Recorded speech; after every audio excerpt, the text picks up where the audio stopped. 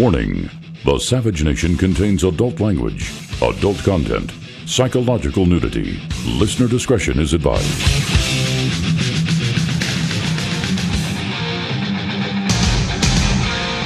And now, America's most exciting radio talk show, The Savage Nation, home of unprotected talk, borders, language, culture.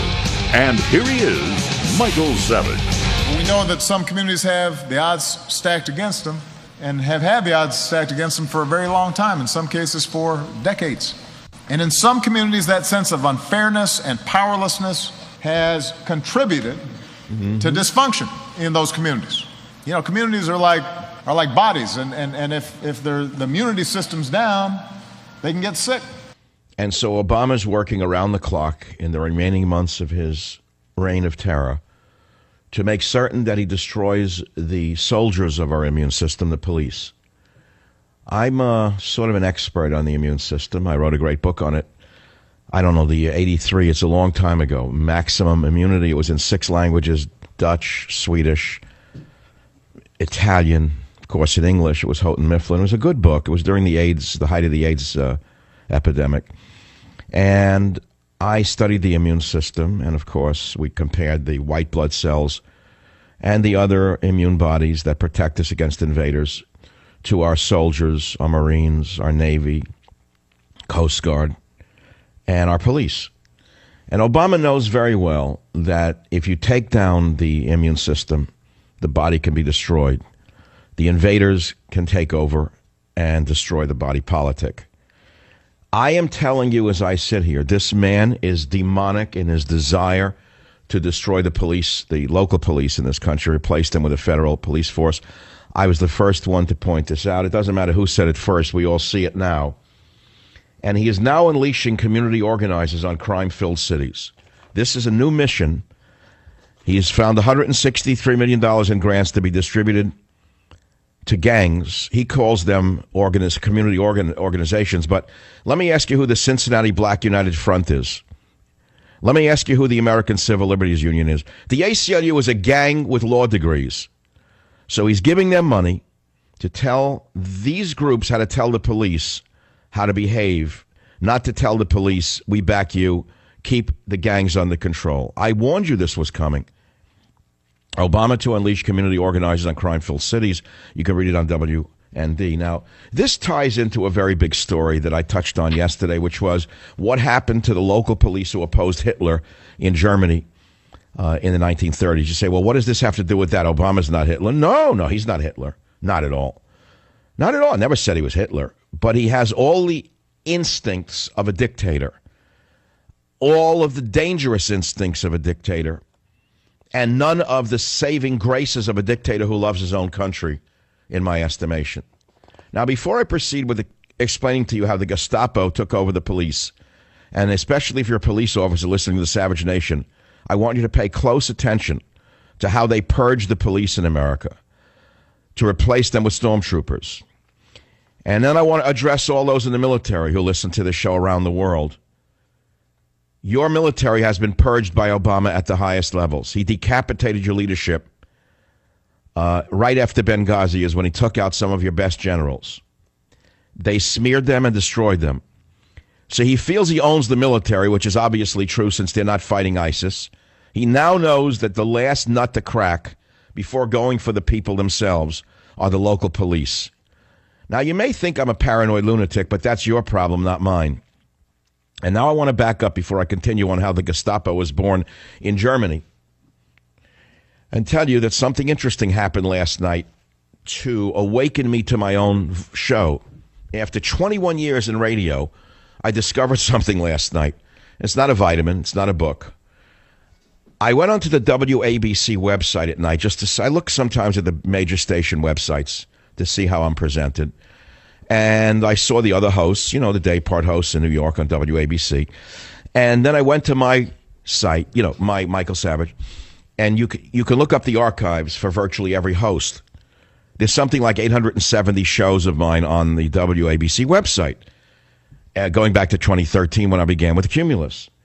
And I clicked on one of them from the other day, and I was shocked at how perfectly recorded it was seamlessly spliced. And I said, wait a minute. As I listened to my own voice on a show I did Monday or Tuesday, something happened inside of me. I said, Michael, do you realize that every word you say is now permanently recorded? It is not the old days of radio where people can say something and then they figure no one heard it, or if they did, they can't capture it. Every word I say, and fact, fact of the matter, anyone in radio, is permanently recorded now. Permanently. It's a permanent record. Moreover, let's say you have a, a politician who hates you, who doesn't have the time to listen to you.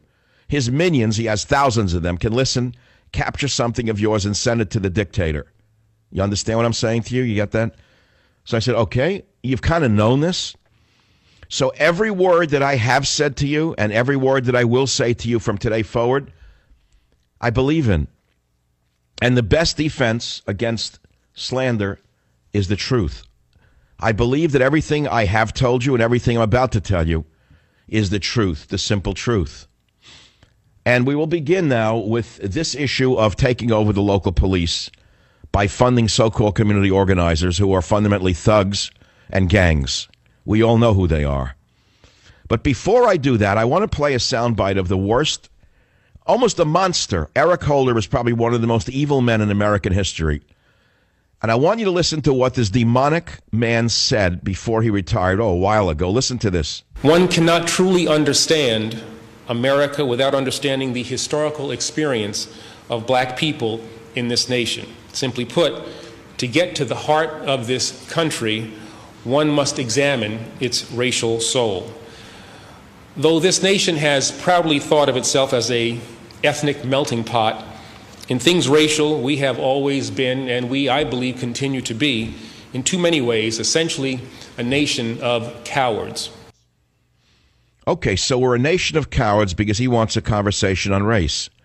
Well, let's have a conversation on race on the Savage Nation.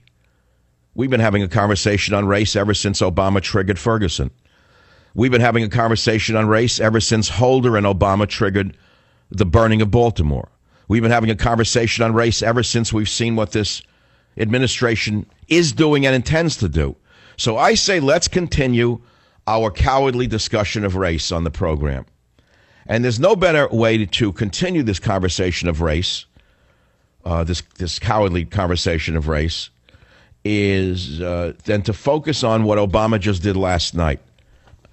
Remember Loretta Lynch, how the Republicans put up a fake fight and said that they are going to oppose her? Well, she's now in there, and I warned you she was worse than a Holder. Didn't I tell you she was going to be worse than Holder because she's a woman? She's got a double going for her. She's got a double protexia around her. So now she announces immediately not that she's going to look into disarming the gangs in the cities. Not that she's going to look into the communist front groups that were responsible for all the violence and the terrorism in our streets. But she's going to grant $163 million to these, these thuggish groups. The ACLU is a criminal organization, as you know, with law degrees. They're the cowardly side of the, of the uh, revolution. The ACLU are the cowards who hide behind law degrees. They work with the actual street thugs who do the damage. You understand how this works? So she's going to put in new guidelines in cities to teach police how to behave toward the gangs. Now that leads us to the Gestapo is born. Upon becoming Chancellor of Germany, Adolf Hitler had appointed Hermann Goring as Minister of the Interior for the state of Prussia. As Minister of the Interior, Goring thereby had control of the police. That's the Attorney General. She's the she's the fundamentally the minister of the interior. The attorney general is our minister of the interior. So in Germany, Goring had control of the police. She doesn't have control of our local police because we have a constitution, we have state governments, which are supposed to function separately from the federal government to avoid a dictatorship. But we have a man who was a madman in the White House, surrounded by demagogues who want to take over every aspect of our lives. The first thing Goering did was to prohibit regular uniformed police from interfering with Nazi brown shirts out in the streets. So I said, well, what does that have to do with America? There are no Nazi brown shirts. Yes, there are. They're the gangs. They're the thugs who just burnt Baltimore. They are the brown shirts. They burnt Baltimore First, they tried Ferguson and they got away with it. Then they had the president covering for them, putting out the false narrative of the gentle giant, who was actually a criminal trying to kill a cop. So he covered for them, and these thugs are now controlling Ferguson and Baltimore. And so let's go back again to history. Goring, first thing he did was prohibit regular uniformed police from interfering with Nazi brown shirts out in the streets. This meant that innocent German citizens had no one to turn to as they were being beaten up by rowdy young stormtroopers. Well, do we have stormtroopers? No, we don't have rowdy young stormtroopers. We have rowdy young thugs, inner city thugs. And what did these young stormtroopers do? These young Nazi toughs took full advantage of police leniency to loot shops at will and terrorize Jews or anyone else unfortunate enough to be caught in the wrong place at the wrong time. Well, did they loot in Ferguson? You betcha. Did they loot in Baltimore? You betcha. Did they terrorize people? You betcha. So, what's the parallel, boys and girls?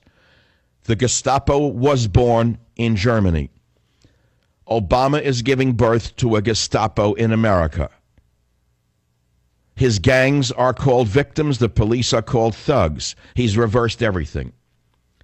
Now, that's that's just one topic I want to handle today. Not I'm not going to do this for 3 hours. Another one because you want substance, I'll give you substance. You want substance, you're going to get substance. The other day I listed 16 questions or so, 13 questions uh, for you to answer on a Gmail account. It was the uh, savageanswer at gmail.com. And by and large, I've gotten remarkably great answers to these very important national questions. And one of them came from a high ranking military officer stationed in the Middle East for seven years, who is a West Point graduate, graduate who will remain anonymous. He has amazing answers to these questions that are plaguing all of us. And he listens to the Savage Nation daily through youtube.com. And he says, I thoroughly enjoy your analysis of the issues and the occasional comedic interjects. Injects. He said, I heard about the opportunity to provide some input to your next book, so attached you'll find my take on a few of the questions you pose on your website. If you decide to include my thoughts, please don't make them attributable to me until I retire in 2017, beat Navy, and I'll leave his name out of it. Very high ranking military officer. We're going to read his answer and others because I'm not just going to sit here and complain. I'm going to give you solutions. And then I want to make an announcement before I take my first break. As you can see, I'm very excited today. Countdown to Mecca is doing very well in the bookstores, thank you. It had a great first week. I made a decision last night. I'm going to donate a large percentage, and I'll figure out exactly how much of all royalties from that book to the Savage Scholarship Fund and the Savage Legal Fund. And if you want to remember what I've done with the Savage Legal Fund, I bought a car for that soldier who was separated from his dog who came back wounded, Mr. Gromit. I think it was $20,000. We sent him a $20,000 check. I am going to replenish that fund with some royalties from this book, Countdown to Mecca, so you'll know that I'm not trying to enrich myself. I don't own 10,000 apartments in Atlanta. All I own is my integrity. I'm Michael Savage. Join the Savage Nation. Call now 855 400 Savage. 855 400 7282. Savage. My Savage Nation is sponsored by SwissAmerica.com. It's the only company I trust to protect my wealth. Call 800 B U I C O I N. Today, we're also releasing new policies on the military style equipment that the federal government uh, has in the past provided to state and local law enforcement agencies. You know, we've seen how militarized gear can sometimes give people a feeling like there's an occupying force as opposed to a force that's part of the community that's protecting them and serving them. Can alienate and intimidate local residents and send the wrong message. So we're going to prohibit some equipment made for the battlefield that is not appropriate for local police departments. Those that do not know the history are condemned to repeat it, so I'm giving you a little historical music, the Horst Wessel song of the uh, Nazi Party, uh, as a little background music to the uh, soft spoken president of the United States of America circa 2014, 2015. Of course he's not a Nazi. Are you crazy? Why, there are no concentration camps. Not at all. There are no brown shirts in the streets. Not at all. It's done for, um, let us say, attracting your attention. And maybe you'll break through the fog of confusion, doubt, and illusion. The illusion created by the grand illusionist Barack Obama. Barack Obama is the greatest illusionist in the history of the presidency. Make no mistake about it, he's a grand illusionist. And instead of screaming in German, he talks softly and he threatens everyone in the United States of America on a daily basis with his reign of terror while not threatening ISIS. ISIS is taking over one city after another, and he and his sorority are telling us that they don't stay awake worrying about it at night. It's nothing. You hear this? The world is burning, and he's attacking American police. So I want to go back to how the Gestapo was born in Germany, so maybe you'll understand the danger we are in. Because Obama and uh, Loretta Lynch, the Attorney General, have announced they're giving out $163 million to community organizations like the Cincinnati Black United Front and the ACLU to take over the police and teach them how to behave. Community organizers on crime filled streets. So, what does that have to do with Germany, 1930s, and Hitler? Well, you listen and figure it out. Okay, I gave you the background. In the beginning, first thing Goring did as a Minister of the Interior, the Attorney General at the time, was prohibit regular uniformed police from interfering with Nazi brown shirts out on the streets. So the brown shirts were able to take advantage of police leniency to loot shops at will, terrorize anyone unfortunate enough to be caught in the wrong place at the wrong time. That's your inner city gangs. That's what just happened in Ferguson and Baltimore and New York. Next, what happened next? All you geniuses. Next, Goring purged the Berlin Police Department of all politically unreliable cops, and he had 50,000 stormtroopers sworn in as special police auxiliaries. So, what happened then? Well, then the stormtroopers, meaning the thugs from our streets, had the power to arrest and they relished its use. Jails were soon overflowing with people taken into protective custody, resulting in the need for large outside prison camps. The birth of the concentration camp system. It happened step by step, stage by stage, day by day, month by month, year by year, right in front of the German people's eyes. Join the Savage Nation. Call now 855 400 Savage. 855 400 7282. Savage.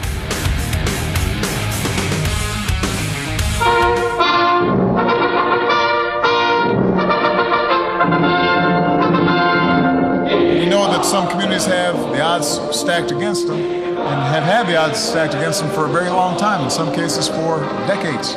And in some communities, that sense of unfairness and powerlessness has contributed to dysfunction in those communities.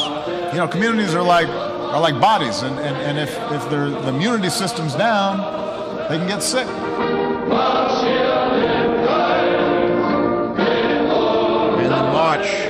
To fascism goes on right in front of our eyes by the grand illusionist.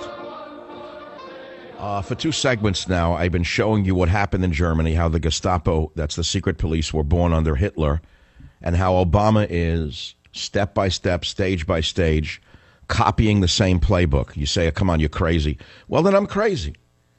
Have me, have me locked up and put into a state mental hospital so you can listen to the fools who say it's not happening. Doesn't have to be an exact parallel to be a parallel, does it? So he, he appointed as Minister of the Interior Goring to control the police. Obama appoints his Attorney General, first Holder the fascist, and now Loretta Lynch, fascist junior, to attack the local police. That's the first thing Loretta Lynch did.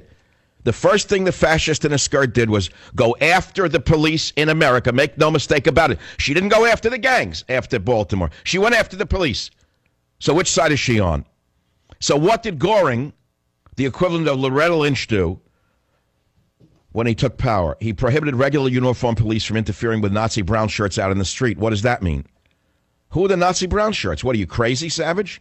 The thugs in Baltimore, the thugs in Ferguson, the ones who robbed convenience stores, the one, ones who burnt the cities down, the ones who beat up the police. They're the brown shirts. And instead of the government attacking them, and giving the police new powers to arrest and detain them, they took more powers away from the police. So the young brown shirts looted shops at will and terrorized anyone unfortunate enough to be caught in the wrong place at the wrong time. What happened next? Next, Goring purged the Berlin Police Department of politically unreliable cops, and he had 50,000 stormtroopers sworn in as special police auxiliaries. If Obama moves to that next stage where he permits community groups to police themselves, we will say the next step is in place. They are the stormtroopers. And what happened after that was stormtroopers had power of arrest and they relished its use. They arrested people under the guise of protective custody. The prisons were overflowing. They needed to create outside prison camps, the birth of the concentration camp system. So, what did he do next? Goring next turned his attention to the plainclothes police. On April 26, 1933, a decree was issued creating the secret police office, Geheime Polizeiamt, which quickly became known as the GPA. The name was changed to Secret State Police, Geheim Staatspolizei. Gestapo was derived from seven letters within the full name, Geheim Staatspolizei. G E S T A P O.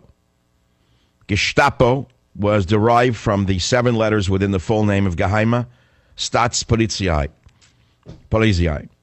Goring promptly began using the Gestapo to silence Hitler's political opponents in Berlin and surrounding areas and also to enhance his own personal power. And so what did he do? Well, to his great delight, Hermann Goring discovered that the old Prussian state police had kept many secret files on the private lives of top Nazis, which he studied with delight. Let's pause right there. Uh, tell me where the secret files on the private lives of top Republicans are, and for that matter, top Democrats.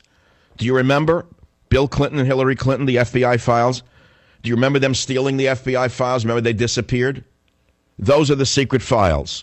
That's why the Republicans are silent. That's one estimation of why. It doesn't have to be the reason. It could be plain cowardice and greed on their part as well. It could be as simple as they're just greedy, greedy dirtbags. They're just greedy dirtbags interested only in advancing the financial uh, advantages of their contributors, the Republicans. So it could be that. It could be the secret files on the private lives of top Nazis. What happened next? February 10, 1936, Nazi Reichstag passed the Gestapo law, which included the following paragraph. Listen carefully, all you lovers of Obama, the, uh, the leader of America. Neither the instructions nor the affairs of the Gestapo will be open to review by the administrative courts. Didn't he just do that with the trade agreement with uh, Asia? Didn't he have a secret file in the basement of Congress that no one could look at except Congress? The press couldn't see it. And then the members of Congress could not even take notes and bring them out of there? Obama has every instinct of a dictator. Neither the instructions nor the affairs of the Gestapo will be open to review by the administrative courts. What this meant was the Gestapo became a group above the law, and there was no legal appeal regarding anything it did. Does it sound familiar to you? Do you feel powerless no matter what this character does with his little pen? There's no appeal beyond him? And what happened next? Well, the Gestapo became a law unto itself. And so people could be arrested for no reason, interrogated for no reason, and sent to a concentration camp for incarceration or summary execution without any outside legal procedure. Well, we're a long way from that, aren't we? Pause. Someone could be arrested in America now for what? Interrogated for what? For what? I don't know. Maybe you disagree with some of his policies and you're a threat to national security. Maybe that'll be a new law of Loretta Lynch. The uh, Grand Illusionist put out a thing on climate change last night that has people who are sane shaking their heads saying, he says climate change causes allergies, asthma, downpours, poverty, and terrorism. Now, you'd have to create this as a fictional script for a country that's gone mad, that has an insane leader, to believe that a president would be able to get away with this after failing on every front. ISIS who is in, in, in incorporating slavery, kidnapping, murder, destroying artifacts going back a thousand years. This is what this demented fool is doing. He's giving a speech on climate change to the Coast Guard. Yes, he did. He did. He says that's a part of readiness is uh, dealing with climate change. Listen to clip one. This is your leader. Climate change poses a threat to the readiness of our forces. Many of our military installations are on the coast, including, of course, our Coast You know he doesn't believe. Stop. Around- you know, I want you to listen to his voice. He is reading a script written for him by some very dangerous, demented people, evil people, and he doesn't believe a word of it. I want you to listen to the hollowness of the grand illusionist. Play clip one. Climate change poses a threat to the readiness of our forces. Many of our military installations are on the coast, including, of course, our Coast Guard stations. Around Norfolk, High tides and storms increasingly flood parts of our Navy base and an airbase. In Alaska, thawing permafrost is damaging military facilities. Out west, deeper droughts and longer wildfires could threaten training areas our troops depend on. So politicians who say they care about military readiness ought to care about this as well. This is his problem, not those who rape, kill, pillage, take over cities, and enslave hundreds of thousands of people. Not one of the greatest displacements of a population in modern American times caused by his failed policies in the Middle East. No, he's talking about seawalls. He's seawalls now and uh, global warming taking over the world. Well, I rest my case. It's now time for you, the listener, to be heard from. But before I go to you, because I'm not out of steam, I'm just building up ahead of steam. I want to turn to uh, answers to the questions that I posed on michaelsavage.com, possibly to be included in my next nonfiction book. I want to read some of the solutions that people have out there instead of just complaining about the emerging maniac, the maniac's emerging fascism, rather. And I'd also like to reiterate that uh, Countdown to Mecca, the novel, all royalties that I get, I'll give, I figured out what I'm talking about here. Any royalties I earn beyond my advance, I will give 50% to my Savage Legal Fund and the Savage Scholarship Fund. Period. End of story. That's a commitment. Write it down. It's permanent. That's in permafrost. So if you want to do good and you want to enjoy yourself, you want to support the show, I suggest you go and grab the book before it's buried completely. It's a great book, by the way. Someone who really reads thrillers, who reads three of them a week, wrote an interesting email last night to me I don't think I can find it in a moment's notice. No, I can't find it. It's very hard for me to do this while doing a show, but I, I might be able to. I'll find it. Don't give me a second. I like doing. I like multitasking. It challenges me and frightens me.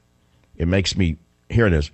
Savage, your book Countdown to Mecca is to Mecca is good. Very interesting plot twists. The characters are believable and compelling.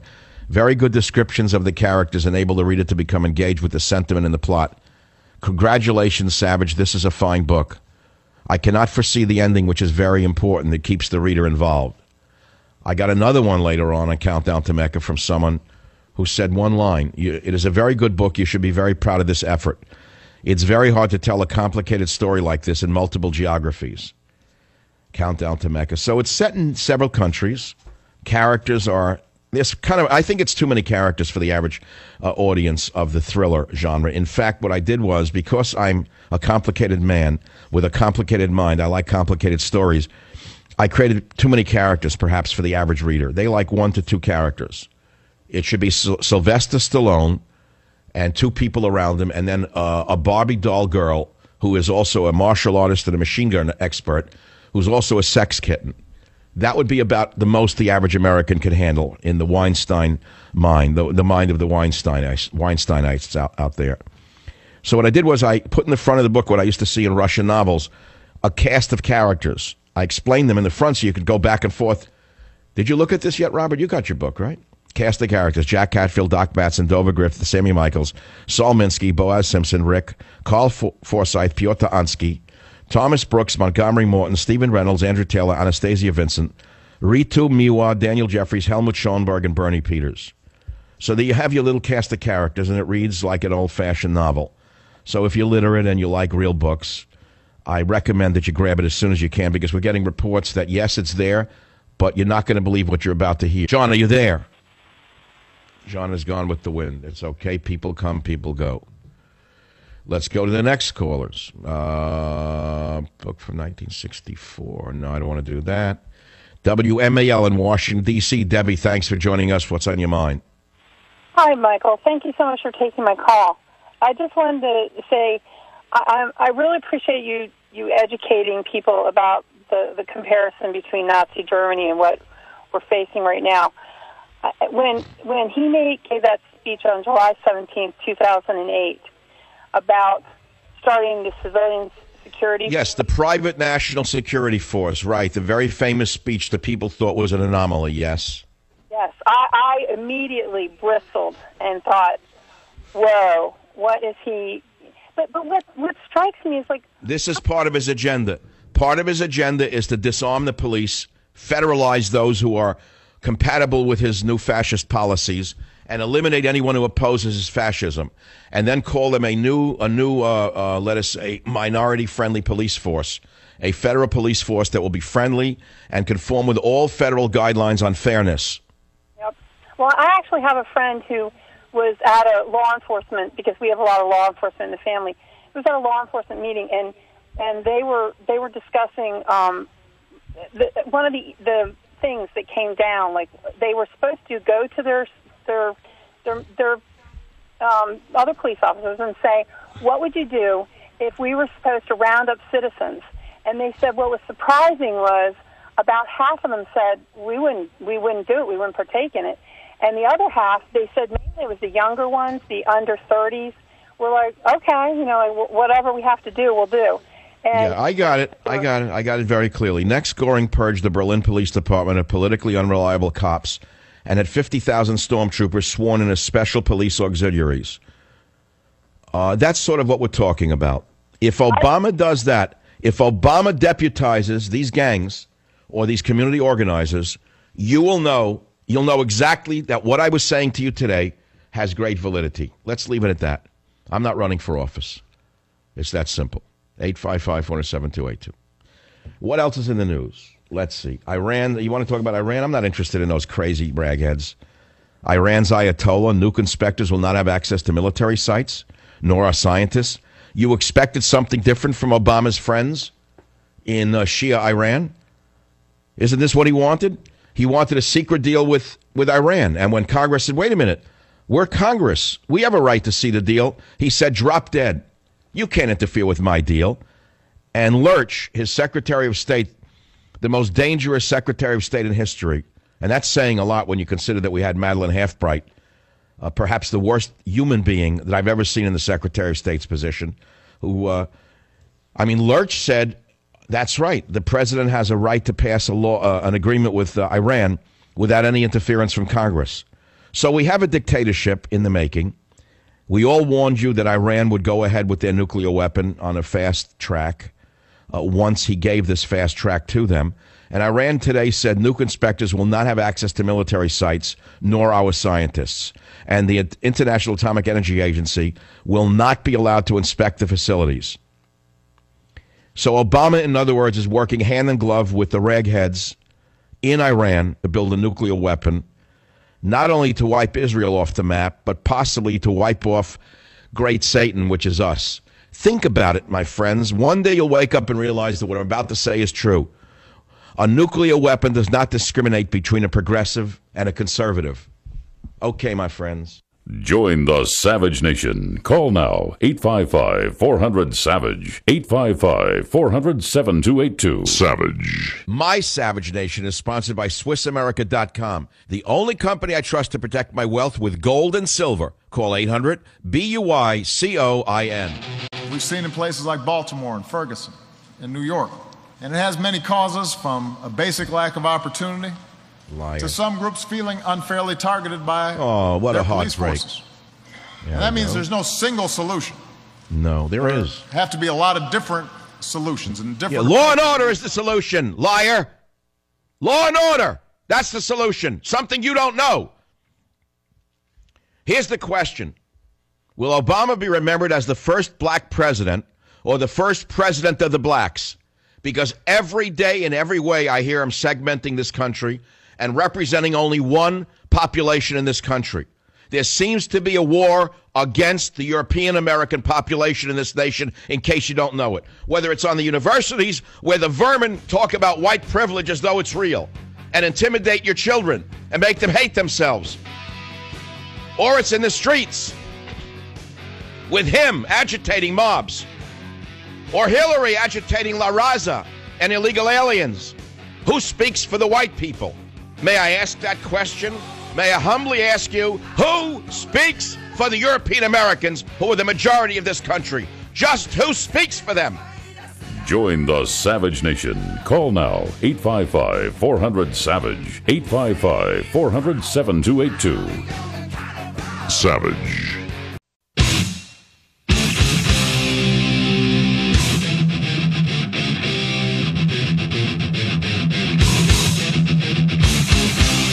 Warning The Savage Nation contains adult language, adult content, psychological nudity. Listener discretion is advised.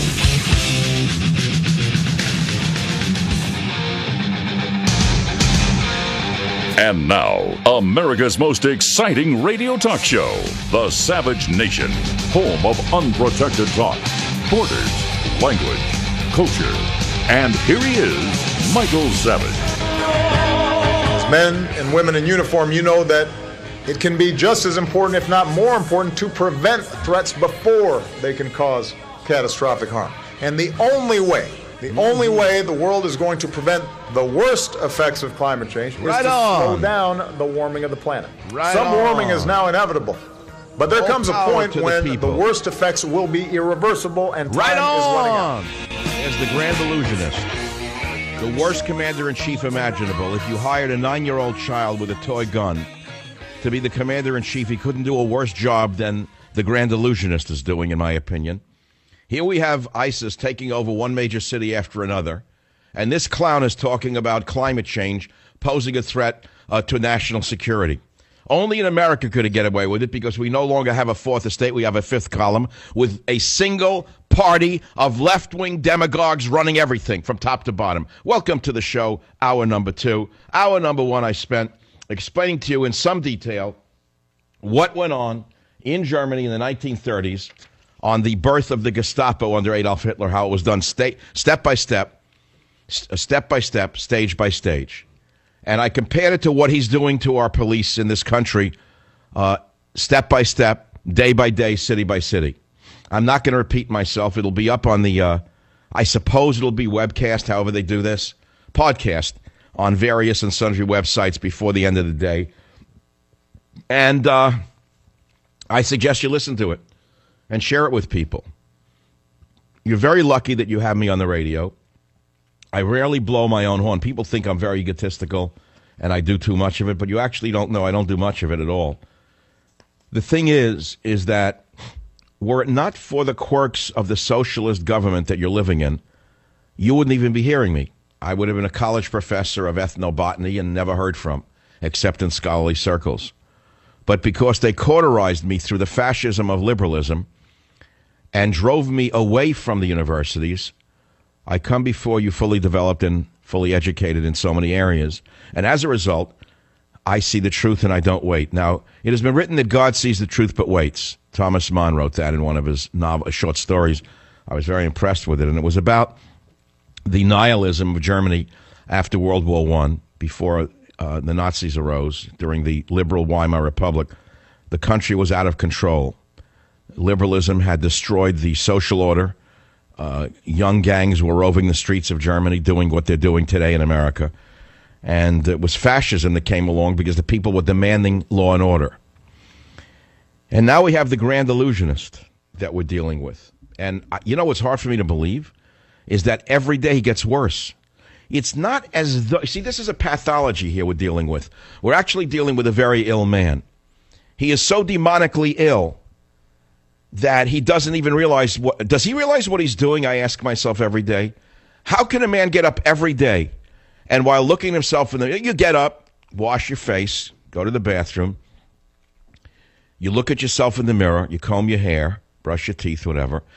Does he say to himself, What can I do to destroy white America today? How can I destroy the power structure every day?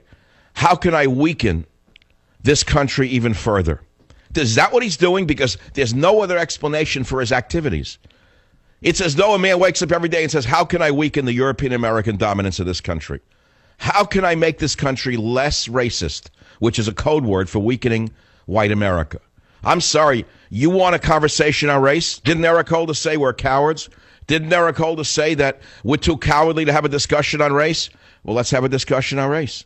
He wants us to talk about it. I am talking about it.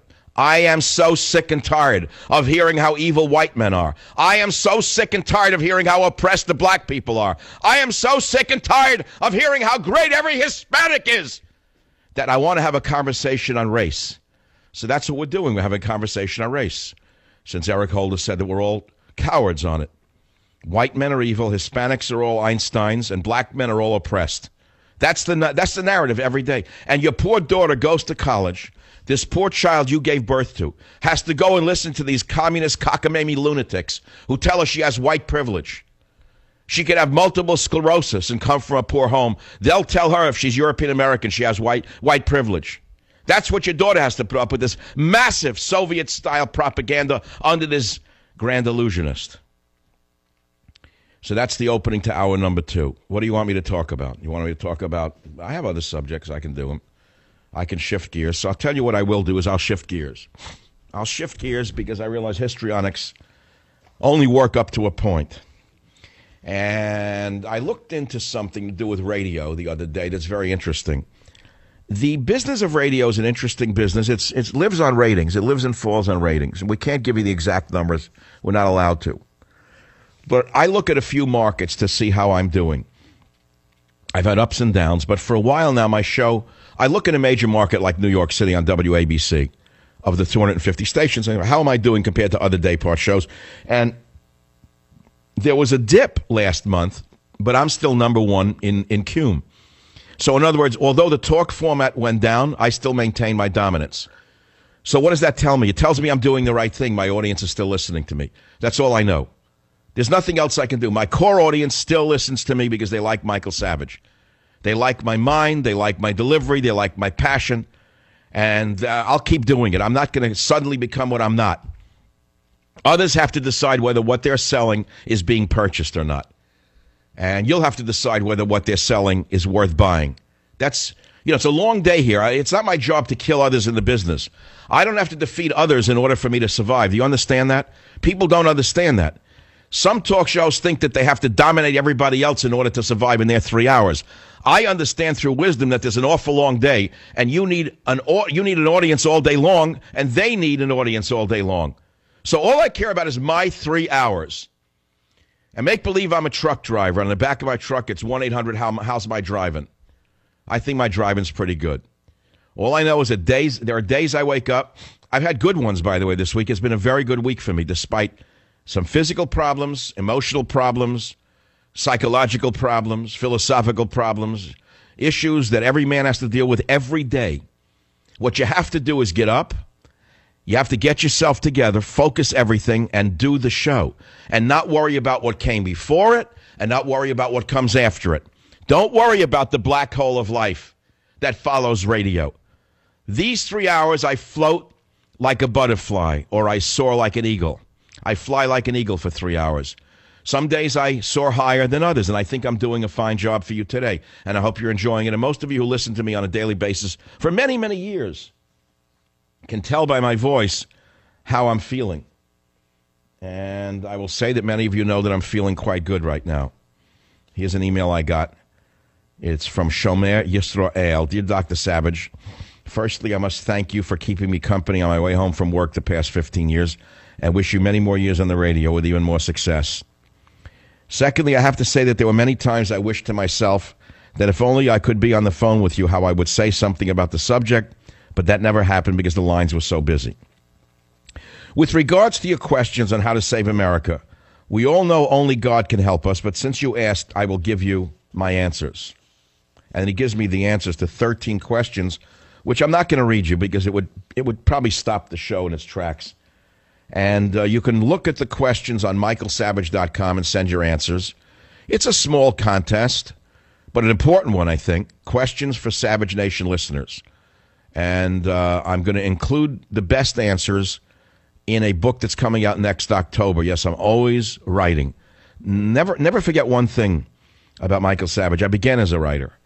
And Ecclesiastes, one of the great books of the Old Testament, says, Of the making of many books, there is no end. It's that simple. That's what I do. I was once in a barber chair when I used to go to barbers. I don't go to barbers anymore. Instead, I just got a ponytail.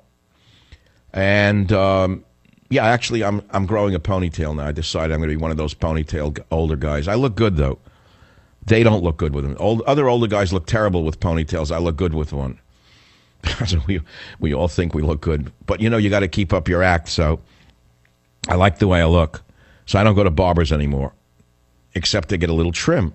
So I was once sitting in a barber chair in San Francisco. Nice guy. I haven't gone there in a while. And I said, you know, I'm exhausted. I don't want to write it. This is right after Abuse of Power. I'm talking five years ago. I said, I don't think I can write another book. You know what he said to me? Yes, you will. I said, why? He said, that's what you do. He said, I cut hair and you write books. And you know what? I wrote another book. He's right. What? I should be intimidated by a tin horn, a tin horn lawyer? I should be intimidated by a government agent who doesn't have a scintilla of talent? I'm not going to be intimidated by people who don't have my talent into trying to mock me. I won't do it. I won't feel. I won't fall for that. So anyway, to go back to the show, I'll take some calls. I'll uh, give you additional insights in how the Gestapo was born and what Ob- Obama and Loretta Lynch and the left wing is trying to do to our local police. You've heard other people say, "Yeah, they're trying to federalize the police." Fine, I said it before anyone else. But today I gave you the details of it. I just didn't give you the golfer's vision of it. I didn't give you a golf view on a golf course. I gave you the details of how the Gestapo was born under Adolf Hitler and Hermann Goring. And I showed you the comparisons between Barack Obama and Loretta Lynch. I showed you step by step, plan by plan, day by day. Now, if it's too much for you, I accept that. I accept it. I look around, I see people in the streets, they don't want to know any of this. I have neighbors who are the biggest idiots I've ever seen in my life. They don't listen to the radio. They don't watch television. They actually proudly say, "Well, I don't.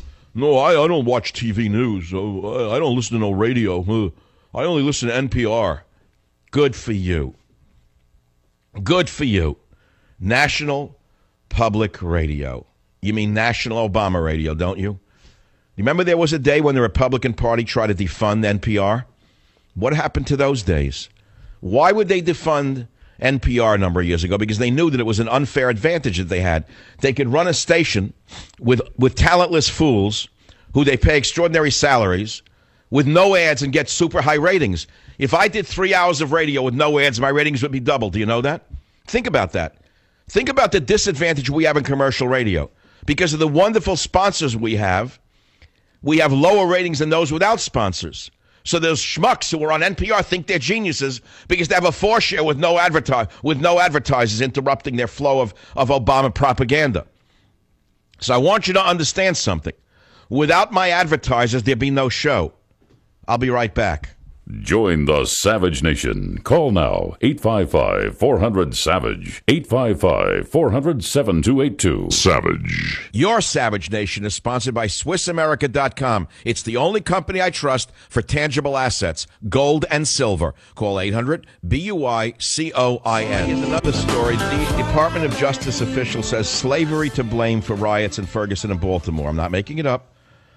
Uh, a creature called Vanita Gupta, head of the Department of Justice Civil Rights Division, Sieg Heil, has told a lawyers group in Colorado that slavery and Jim Crow helped fuel the Ferguson and Baltimore riots. And then they attacked the local police again. Goes along with my main story. Every way they can, they attack the police and attack the uh, popular, the, excuse me, the dominant culture of the society. Let's go to the callers. Akil on my home hometown station of San Francisco KSFO. Akil, welcome to the program. What's on your mind? How are you doing, Dr. Savage? First off, I'd like to say you change my thought my thought process of Democrat and Republican, conservative. My dad used to listen to you, and uh, it's funny. He passed. It's funny that I, I listen to you now.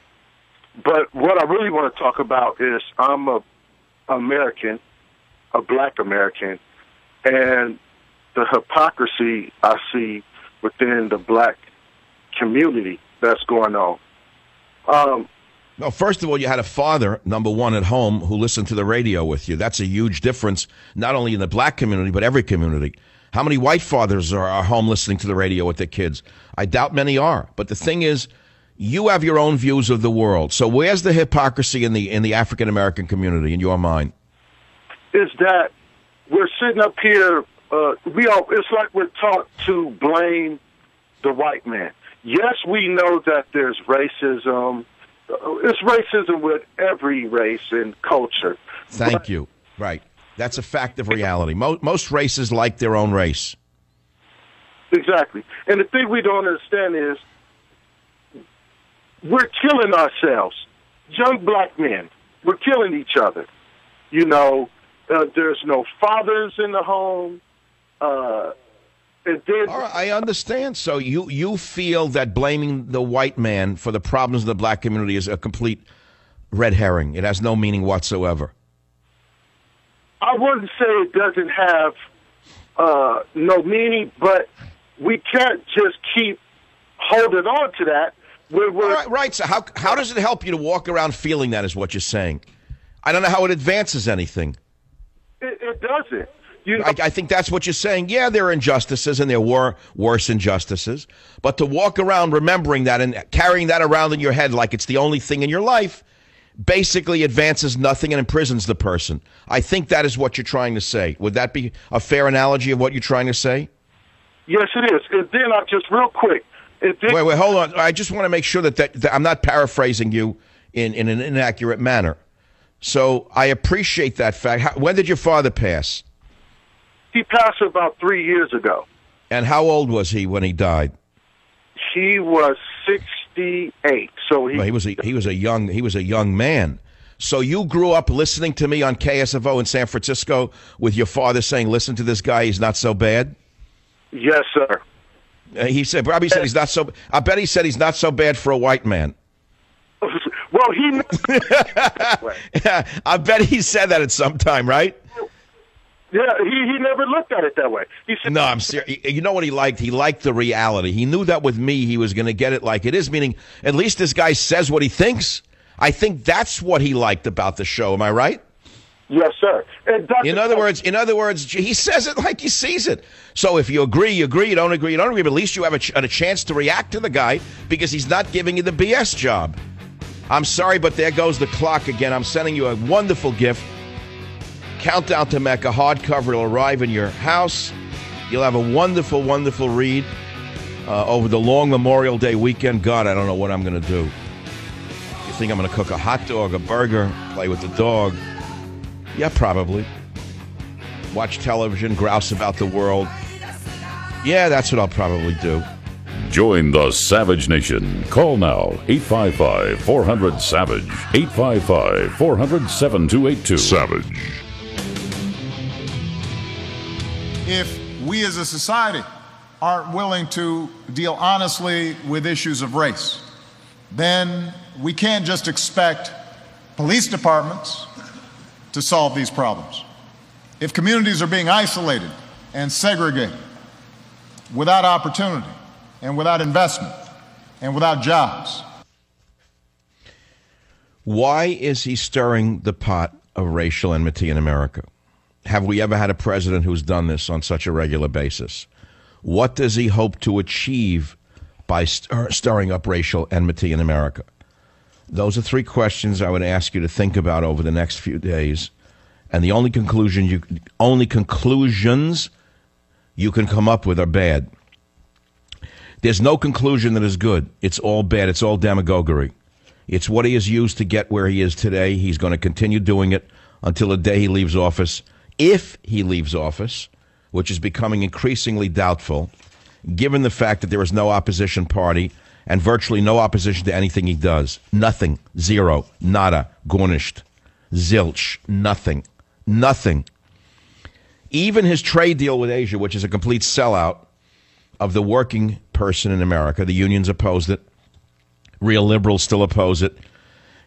The Republicans are for it, and he's for it. So what does that tell you? It tells you that he's a Machiavellian uh, grand illusionist. He pretends he's for the downtrodden and the poor, but he is actually answering only to those with 414 foot yachts, like Paul Allen, who was in uh, Cannes after the uh, festival in uh, the film festival. He had a party on his yacht where all of the other uh, downtrodden masses partied the night away on Paul Allen's 414 foot yacht. There was Sean Penn, who talks against guns, who uh, glorifies uh, guns and beatings and knivings and stabbings. His new girlfriend is the woman who portrayed a vicious killer in one movie after another, Charlize Theron. Classic liberals, classic Gulf Stream liberals, uh, partying the night away. So the fact of the matter is, those are Obama's friends. That's his real constituency. They fund him. They fund the Republican Party. There's no difference between the two parties when it comes to the funding of the two parties. The only difference is is that they want more power than they already have because uh, power corrupts absolutely, and Obama is absolutely corrupted if you look at him. And so he will use any form of demagoguery to advance his power structure. Whether it's him or his own minions, it doesn't really matter. The power structure that is his will remain in place after he's out of office. Look at look at Bill Clinton. How long is that criminal? I mean, how long has that ex president been out of office? Has he given up any power? Look what he's done since he was president. Take a look at what Bill Clinton did since he was president. Has he really stopped what he was doing as president? No, only now he's profiting from it personally. In other words, the very same Machiavellian maneuvers that Clinton was using before he's doing now, only he's getting paid to do it and sticking it in the library, the slush fund. Instead of putting it all into his kitty, he puts it into the library and withdraws from it as needed. It's a bank. In other words, the Clinton Foundation is a bank. And you take from it as you need it. And you pay no taxes on it until you withdraw from it. You don't. Let's say a man gives you $10 million, like George uh, uh, Staphylococcus, whatever he gave him, 75 grand. God knows more will come up soon. Let's say a guy gives him $10 million. It doesn't go into Clinton's pocket. You have to pay taxes on it. So it goes into the library, tax free and he withdraws it as he needs it for his own expenses an airplane ride, or this, a party, or that. Da, da, it's a bank, a tax free bank. You only get taxed on the way when you, when you withdraw money from it. So has Clinton stopped doing what he was doing? No. He's just doing it for personal profit. Obama will not stop when he leaves office, if he leaves office. His agenda, his radical anti white agenda, will continue. And it'll be rich whites who are funding it. Isn't that interesting? You want another comparison from history? Unfortunately, I have to go back to Germany again. Yes, I'm sorry, there's an awful lot to be learned from history. Who do you think it was who funded Adolf Hitler in the beginning? Huge industrialists like the Krupp Steelworks. Now, why did the Krupp Steelworks go with the street agitator, Adolf Hitler? Because they saw he was the future. And they figured if he was going to run the country, they wanted to make sure they were on the right side of him. And so they profited greatly, the Krupp Steelworks. Works in the rearmament of Germany. After all, they were building the planes, the ships, the tanks, uh, the artillery, the uh, ammunition. So Krupp loved him. What was a problem for Hitler in the beginning was that he was a socialist, National Socialism. Never forget he was a socialist. Okay, but he wasn't a real socialist. The real socialists were those in the SA. Ernst Röhm was a pure, 100% pure socialist. And he came to he came to fight with Hitler once he has seized absolute power, once Hitler had achieved absolute power, Ernst Röhm, the gay head of the of the SA, the stormtroopers, got into a real power struggle with Hitler because Ernst Röhm and his SA wanted pure socialism. They did not want to reward the capitalists, for example, in Krupp Steelworks. Hitler couldn't accept that. Hitler was far more intelligent than the brown shirts. He wasn't the purist by any means. He was just a maniac who wanted pure power and had hatred for certain races and certain people. So what happened? He killed SA uh, leadership on the night of the long knives. He took over the SA and dissolved them into the SS because he no longer had, at that point, he no longer had the competition of those purists who wanted pure socialism, who wanted to disconnect with the uh, industrialists like Krupp Steelworks. Maybe that's a little too long for you in the seminar tonight. I get it. And I have to ask myself every day, how far do you really want to go with this? How much of the history that I know do I want to share with you? Some of you love it, you eat it up, you say that's great. Some of you say, you know, it's enough already, talk about the dog. And I get it. It's a big show. You know, I got to deal with the intellectual. I got to deal with this Joe Sixpack. I got to deal with the angry minority. I got to deal with the illegal immigrant who hears one out of 12 words. I got to deal with the children.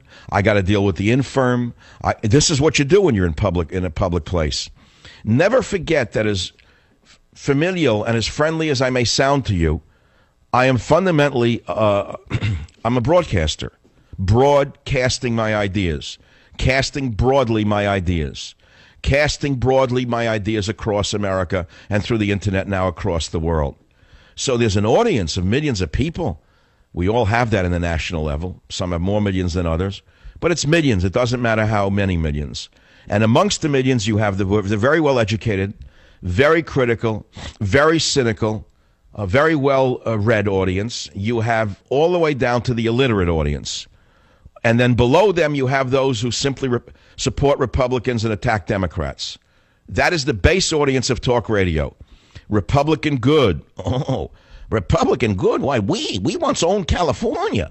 Oh yeah, we Republicans. Yeah, we Republic. Anytime you hear a talk show host say we Republicans, put an X through that talk show host because they're a front for the Republican Party. How many different ways do I have to tell you that? Stop being gulled. Very few people in the media are as independent as I am. It's a miracle that I'm still on the radio, given the independent level of my thinking. I'm a free thinker, almost unheard of in this country, almost unheard of in the world. I'm one of the last few free thinkers on the planet. And so, therefore, as an endangered species, I have to decide in listening to my own words sometimes, you know, did I go too far? Did I say too much? I don't know. I actually don't have an answer for that. I know that, you know, I'm still blacklisted in England, even though Cameron won.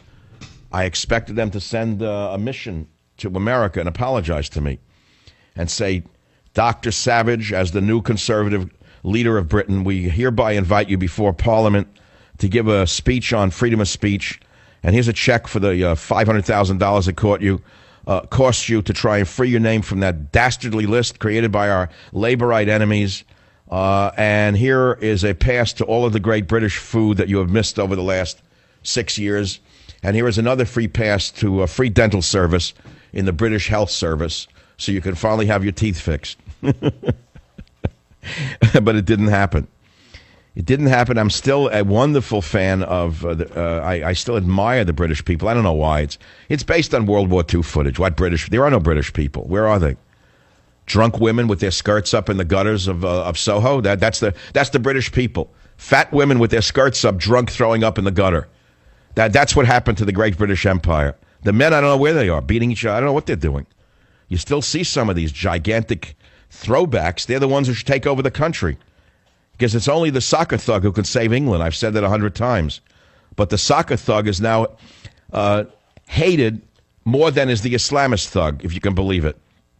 Same thing going on there that's going on here. The leaders, in other words, are the Indian chiefs who sold out their own tribes in both England and here. Indian chiefs, remember, sold out the Indian. They blame the white man, but it was the Indian chiefs who sold the Indian out for wampum, some booze, right? Whatever else they got. They got. They sold the tribes out.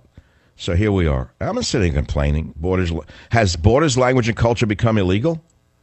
Has it become illegal for me to talk about borders, language, and culture? Well, it banned me from entering England, the same country that released a Libyan terrorist who was convicted of blowing up Pan Am Flight 103. The Libyan went home to a hero's welcome, and Michael Savage was left to suffer in silence. I am not a victim. I'm not complaining. I'm just telling you what's going on. Nothing changed since Cameron became a Prime Minister of England. Nothing will change. Nothing will change. So I continue to read my history and try to learn from it. And you say, well, what's the good of it if no one else is learning from it? You gave a wonderful discourse today on, on, on how the Gestapo was born in Germany. You made comparisons between the Minister of Interior, Hermann Goring, and the uh, Attorney Generals of the United States and what they did to the police step by step, day by day. You compared the brown shirts to the thugs in Ferguson and Baltimore who were looting shops the way the uh, uh, looting shops at will without being arrested the way the brown shirts did.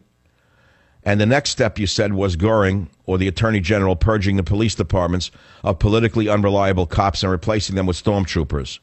Well, we have no stormtroopers, right? So that can't happen? Yes, you do have stormtroopers. The gangs of America, the thugs in the streets, are Obama's future stormtroopers.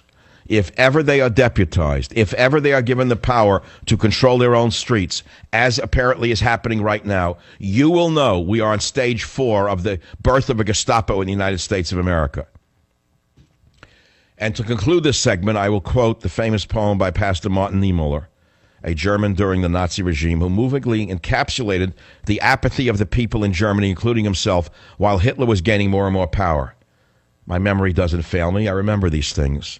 Niemöller wrote this When the Nazis came for the communists, I remained silent. I was not a communist. Then they locked up the social democrats. I remained silent. I was not a social democrat. Then they came for the trade unionists. I did not protest. I was not a trade unionist. Then they came for the Jews. I did not speak out. I was not a Jew.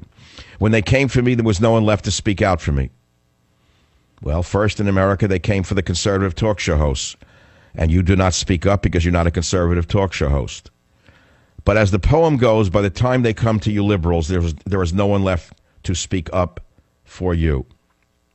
This is the Savage Nation. I'll be right back. Join the Savage Nation. Call now 855 400 Savage. 855 400 7282. Savage. Hey, our Savage Nation is sponsored by SwissAmerica.com, the only company I trust for wealth insurance, gold and silver. Call 800 B U I C O I N. All right, I'm going to give you some entertainment. We're going to go to about a third of the way into Countdown to Mecca. I'm going to read two pages, and I'm going to show you something about the Mossad and the underworld in my fictional mind. Page 116. So they go to a halfway house that Saul the gangster is funding. Saul motions for Jack and Doc to follow him. He led them into the public part of the halfway house rather than upstairs. He moved through the cafeteria to the far side of the counseling room. Boaz, Saul said to a man they noticed, could we see you for a moment? Of course, Mr. Minsky, he said in a low, slightly accented tone. He motioned toward a plain door in the corner. They followed him there, but Jack noticed a smile was growing on Doc's face. What? he asked his experienced old friend. Wait for it, Doc replied, further noticing that the door looked wooden but was actually metal. The manager brought them into a plain room that reminded Jack of the police station's interrogation room, except that it had a fridge, coffee machine, and simple computer table. Gents, Saul said as he sat, may I introduce Boaz Simonson. Boaz, this is Jack Hatfield and Doc Matson. Good to finally meet you, Boaz said, shaking each man's hand. Israeli, right? Doc said, as the two men shook, not bothering to check each other's strength. Boaz nodded, grinning. If the name doesn't peg me, the accent does. Hey, should we be talking like this in here? Jack wondered, crooking his head toward the seemingly thin walls, separating them from the recovering alcoholics, addicts, and prostitutes. Boaz's smile widened. You are now one of the most secure places in the city, Mr. Hatfield. This building was basically built around this room, and this room took us years to secure, design, and build.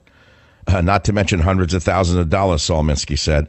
Doc, his own smile widening, crossed his arms and sat on the table edge. I'm guessing the money did not go into soundproofing. Saul Wing. Boaz was the Mossad. Boaz was the Mossad involved in the assassination of Schoenberg. Boaz shook his head. Absolutely not. Well, how would you know? Jack asked dubiously. Boaz looked to Saul the gangster. Saul looked at Jack. Because Boaz is this region's central Mossad sleeper agent. Saul motioned sweepingly. My entire staff is comprised of them. Jack shook his head. Saul, don't tell me. Jack said the alleged mob boss. You are the first people outside of my organization I've ever said this to. This facility is not a front for my crime activities. My crime activities are a front for these people. Genius, doctoral. You need a position where you could need sense. You need a position where you could seed sleeper agents all over the world, but also a base where both the underworld and feds would be watching your criminal activities so closely they'd miss the real operations. Hide in plain sight, Jack said. Saul nodded, yeah. We needed a Mossad presence here, especially after the events you were involved with over the last few years. So I moved my headquarters from the East Coast to the West Coast to find my reputation that preceded me. The move started bearing almost immediate fruit. And that's page 119 of Countdown to Mecca, where we find out that Saul Minsky, the Jewish gangster that I invented, is actually the head of a Mossad cell disguised as a Jewish gangster in order to elude the feds. There are plot twists that are original to the book. I, I never read that. Robert, did you ever read that anywhere or see it in a movie? Not even a Weinstein movie has that in it. It's very creative. I enjoyed writing it. I hope you'll enjoy reading it. And you can find it in almost every major bookstore now. That's good. So we've been discussing race because we don't don't want to be seen as cowards by uh, Eric Holder, who's probably gone on to a very lucrative career back in the private sector, by the way, after stirring up the racial hatred that had been simper, you know, tamped down in the country. He did it. He did it and he did it. And then he got out of the uh, kitchen. He couldn't take the heat. So he jumped back to a private law practice where he's probably making millions upon millions a year, being rewarded by the legal profession for creating hatred in America unlike any we've seen in 40 years. Welcome to the United States of America under Barry Obama. Join the Savage Nation. Call now 855 400 Savage. 855 400 7282. Savage. The Savage Nation contains adult language, adult content, psychological nudity. Listener discretion is advised.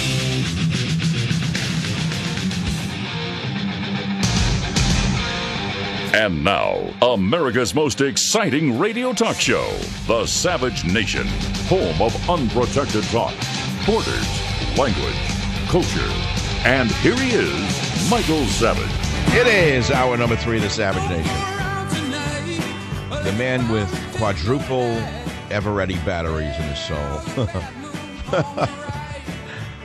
Michelle Obama would like students to monitor family members for racial insensitivity. Remember who did that? Old Adolf. Oh, I'm sorry.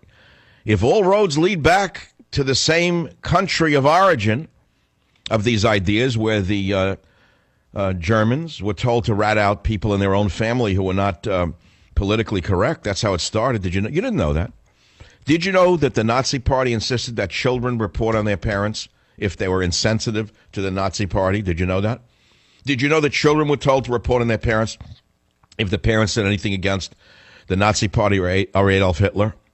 Michelle Obama would like students to monitor family members for racial insensitivity. From the Blaze. So called First Lady Michelle Obama, I say so called because she's not acting like one.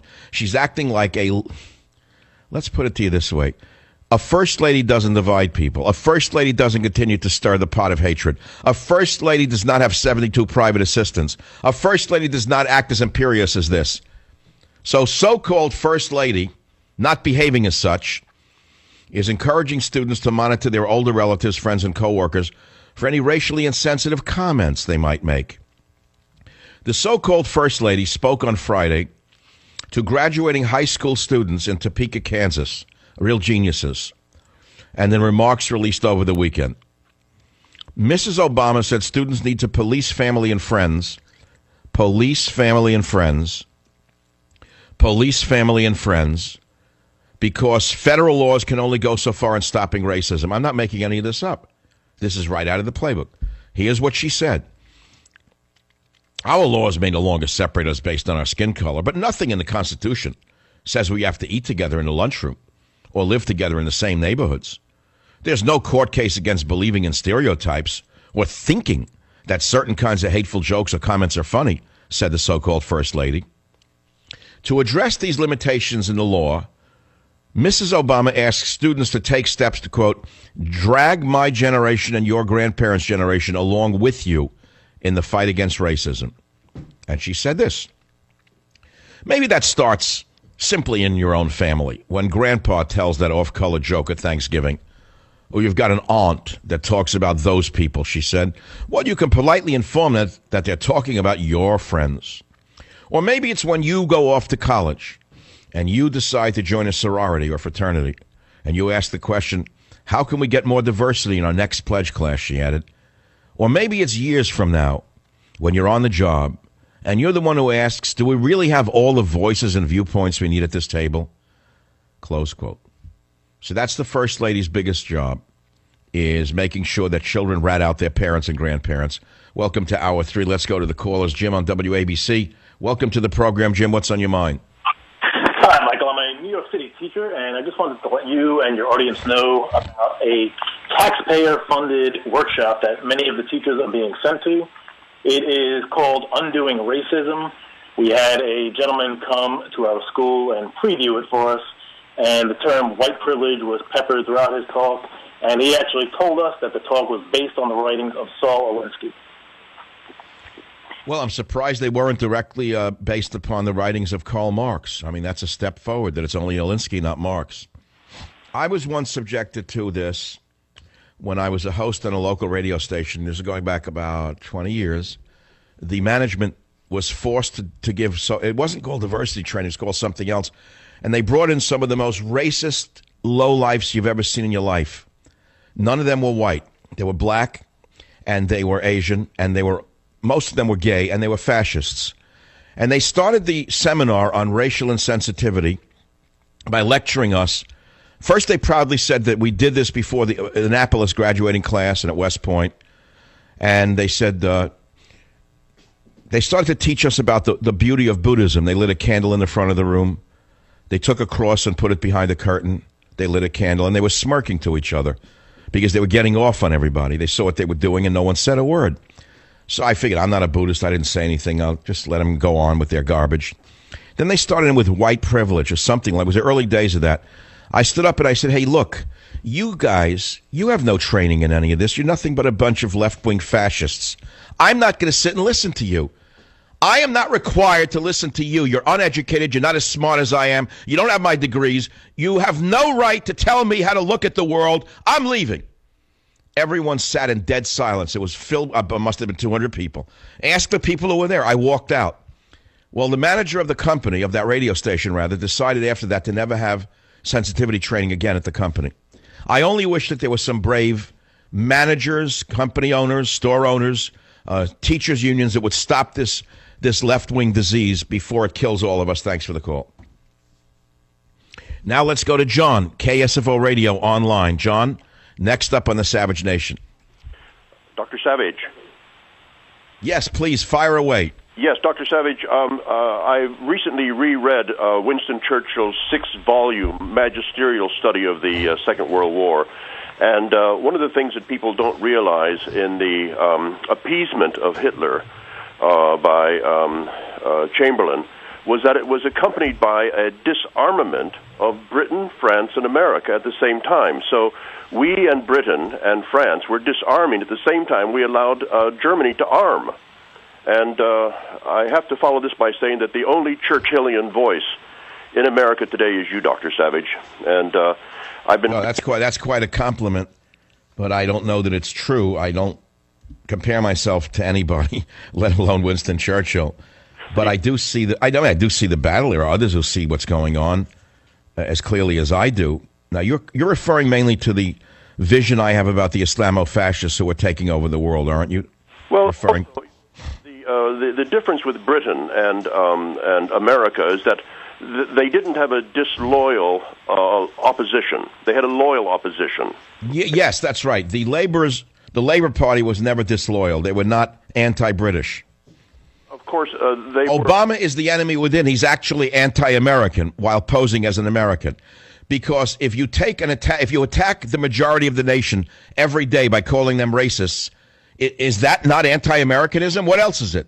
Well, it's Wilsonian. It's exactly what happened in Europe. Wils, uh, the, uh, uh, uh Wilson uh, President Wilson, with his League of Nations, established race as the basis for understanding all national um, boundaries. That's why Czechoslovakia was carved up. No, I didn't know that. Yes, in fact, that was the, the explanation of everything. That's what balkanization means, is that recognizing races as separate entities instead of national entities, and that's why balkanization has led to the disaster that we see today. Well, but isn't Obama balkanizing America with his race talk? That's why race has always played it from the time of, of the Wilson Doctrine. So, are you saying that Obama studied under this Wilson doctrine and he's using the same techniques? Oh no, it's it's become second nature to the uh, to the socialist cause. Are you a scholar of any kind, or are you just an interested uh, reader? I don't know what you do for a living. I studied in Britain. I've debated at the Oxford Union, something that you should have been allowed to have done. no, you know that's the, you know about me being invited by the Cambridge Union and then being disinvited. I do. Of course, I was in Britain at the time. I was I was uh, dumbfounded, you know. But um, you know, Britain today is not what it was when I first went there in 1967. In 1967, it was a totally different country, Doctor Savage. Well, so was America in 1967. Well, I actually went to Britain to get away from to get away from America in 1967. Are you are you originally born in America? I was indeed. Yes, I was indeed. And are you calling me? I know you're online. Are you calling me from a place in America or in Britain? I am. I'm calling from. Uh, uh, I'm a listener in the Bay Area. Calling. Uh, I listen to you on uh, KSFO. I see. And by the way, I was listening to your uh, reading from uh, the your your most recent wonderful Hatfield novel, and the Minsky part with him being the double agent. That was just brilliant. I was I was dumbfounded as I listened on the phone to your reading it. I was I thought, what a what. Well, nobody has ever done that fictional. No one has ever uh, posed the concept that the Mossad would use a gangster as a front in order to throw the, the, the, police off from their activities. One of the things about Churchill is that he was a painter.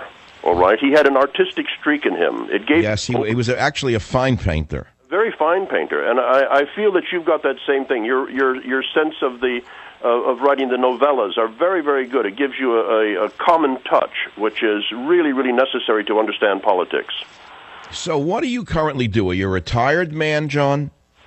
Actually, I'm, I'm a I'm a known international artist, and uh, Um, you know, I've traveled throughout the Soviet Union and China. I went to China during the Cultural Revolution to study landscape painting, and uh, I've done a, a number of things. I've uh, resided. I'm interested. I mean, hear by your voice, you're highly educated, unlike mine. I sound like a longshoreman who never went to college, but that's part of my charm going to call you when you spoke about Velikovsky and Lysenko. I thought, bloody hell, someone actually knows about this stuff.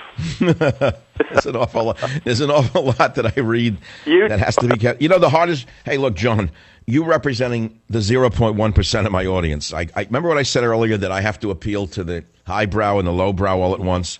From Joe Sixpack, from Joe Sixpack to the intelligentsia. In virtually every statement, I have to think of this audience. That's what mass communication is all about. So apparently, you're one of the 0.1% of the listeners. Uh, I, I, have to tell you, I would love to see some of your paintings. Is there any way that you could stay on the line and uh, perhaps share your email address with Robert or, or with Jim so we can communicate? Yes, I'd love to. I, I would be honored. I'd be honored to do that. And I'll tell you what, I'll trade you one of my amateur watercolors for, for, one, of your, for one of your paintings. if you ever see the childish watercolors I've been painting, I think you'd be embarrassed to say that I have any artistic sensibility. You'd be surprised. You'd be surprised. You know, it's one of the things about uh, people of very high intellect is that they also have a they have this common touch. They have a little bit of the proletarian in them. And that's what made Churchill so interesting as well. If I can walk with king, if you can walk with kings and never lose the common touch, then you will be a man, my my son. Remember Kipling's great poem? Very good, Kipling. Very good. Kipling, Kipling, Kipling. Well, I'm going to send you a copy of Countdown to Mecca. I don't know if you've read it yet. I think of all people, you'd love reading it. I'm glad you heard the uh, middle passage from the book, and I look forward to receiving your email so we can communicate and perhaps exchange paintings. Certainly. Thank you for calling the show. That was great. Unbelievable. 18 minutes after the hour, I'll be right back. Join the Savage Nation. Call now 855 400 Savage. 855 400 7282. Savage. My Savage Nation is sponsored by SwissAmerica.com. It's the only company I trust to protect my wealth. Call 800 B U Y C O I N.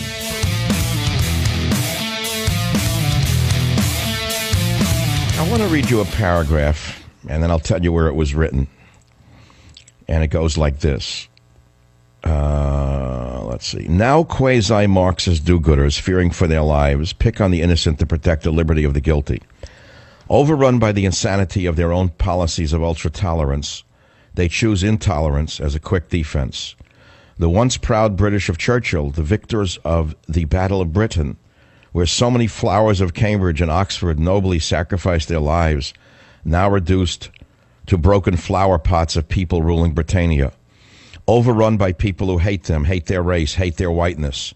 The broken shards of England cho- chose to condemn an American patriot, a man who speaks of borders of language of culture. He is the enemy of the shards of England's pride. He is now the sum total of all that threatens the island's survival. This free spirit ensnared by the descendants of those bold Norsemen now fallen, their clay feet crumbling. That was the introduction to Banned in Britain. I did that book. I don't even know how I did it in such a short period of time. It's not available for sale. I'm not selling your book. But believe me, I've been fighting the free speech battle for quite a while. And I'm proud to tell you I'm the only member of the American media still prohibited from entering Britain, even though the conservatives won. It's, it's a damn shame. Justin, sorry about that. I ate too many uh, andami seeds just now. I, I ate uh, corn and andami seeds in a salad. Darn that andami. Justin on WVLK Radio. Welcome to the program. What's on your mind? Dr. Savage, uh, my grandfather passed away about a week ago. Um, and at the funeral, I heard a great story involving my grandfather and someone named Meyer Lansky, who I'd never heard of before. You t- wait, wait, you're telling me your father was in your father was in the rackets? Your grandfather was in the rackets? My great grandfather apparently used to own a speakeasy in Chinatown and went to school with Meyer Lansky story is that um, he had a speakeasy next to near another speakeasy owned by either Meyer Lansky or an associate of Meyer Lansky. Meyer Lansky knew my great grandfather, came to him. I want my great grandfather's name was Danny. He said, "Danny, listen, I've known you for a very long time, but you have to shut down." Apparently, someone else had tried to tell my great grandfather to shut down, and he said, "No, But when Meyer Lansky came and asked him to shut down, he shut down real fast. Well, Meyer Lansky was the head of um, Murder Incorporated, the Jewish gang, Murder Murder Inc. You know that. Exactly, and I. So, are, are you calling to ask me if Meyer Lansky inspired my fictional character Saul Minsky? Exactly. Somewhat. I took a few different derivative names and put them together and mixed a few concepts, conceptualizations together and came up with a character called Saul Minsky. He seems to be, attract a lot of interest in the book Countdown to Mecca. I don't know why everyone likes the gangster more than they like the hooker or the clown or the character who was the hero, Jack Hatfield. why, why is America obsessed with my character, Saul Minsky? I don't know. So, what did your grandfather do when they shut him down? Uh, I'm, you know, I'm really not sure it was my great grandfather. Um, I know. Well, what no, what business did what business did he go into? What did he open a flower shop? Uh, no, he owned several rental properties, um, and I think that's ended up what he's doing. And then my grandfather ended up becoming an accountant. And uh, well, Meyer Lansky was the accountant of organized crime.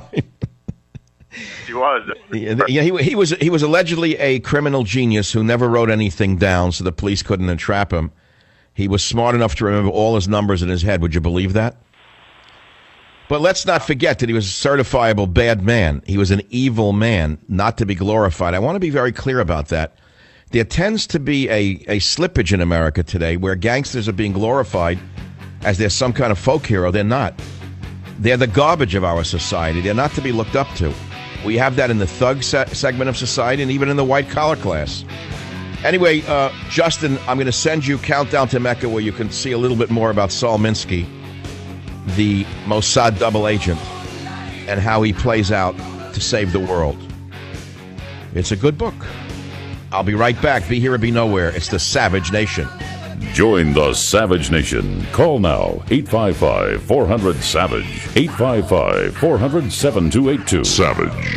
Equipment that the federal government uh, has in the past provided to state and local law enforcement agencies. You know, we've seen how militarized gear can sometimes give people a feeling like it was an occupying force as opposed to a force that's part of the community that's protecting them and serving them. Can alienate and intimidate local residents and send the wrong message. So we're going to prohibit some equipment made for the battlefield that is not appropriate for local police departments.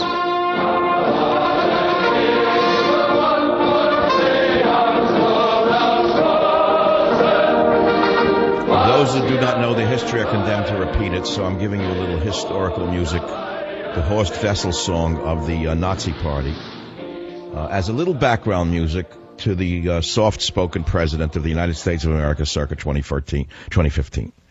Of course he's not a Nazi. Are you crazy? Why there are no concentration camps? Not at all. There are no brown shirts in the streets. Not at all.